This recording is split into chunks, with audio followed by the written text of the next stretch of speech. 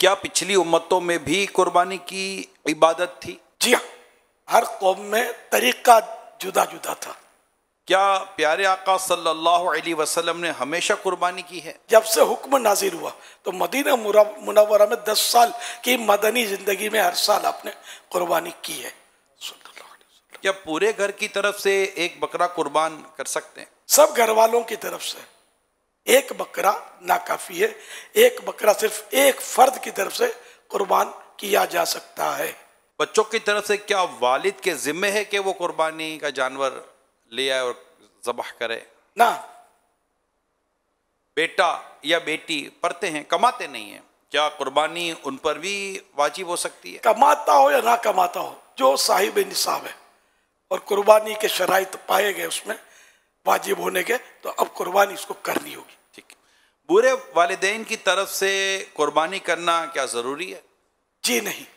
क्या फौजशुदा मरहुमीन का कुर्बानी में हिस्सा रखा जा सकता है? रखा जा सकता है। बीवी की कुर्बानी क्या शोहर की ज़िम्मेदारी है? जी नहीं। फकीर का कुर्बानी की नीयत से खरीदा हुआ जानवर मर जाए या गुम हो जाए तो क्या हुक्म है? उस पर दोबारा वाजिब नहीं है कि नया जानवर खरीद कर कुर्बान करे वो गया उसका। ठीक है। फकीर से मुराद ये भिकारी नहीं है भिकारियों बस तो बाज बहुत माल होता है। शरीयत जिसको फकीर तस्लीम करे।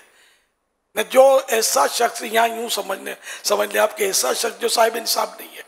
कुर्बानी के शरात पाए नहीं कर ये वाजिब नहीं है इस पर तो ये फकीर है। भले ना पचास लाख उसके पास है, लेकिन साठ लाख का मकरूज है। ये भले देता नहीं है, लेकिन साठ लाख का कर्जा है इस पर तो पचास लाख इसके पास होने के बावजूद ये फकीर है। अगर ये अदा करता है, तब भी दस लाख, मजीद इस पर तो कर्जा रह रहा है। कुर्बानी का सवाब ईसाल हो सकता है।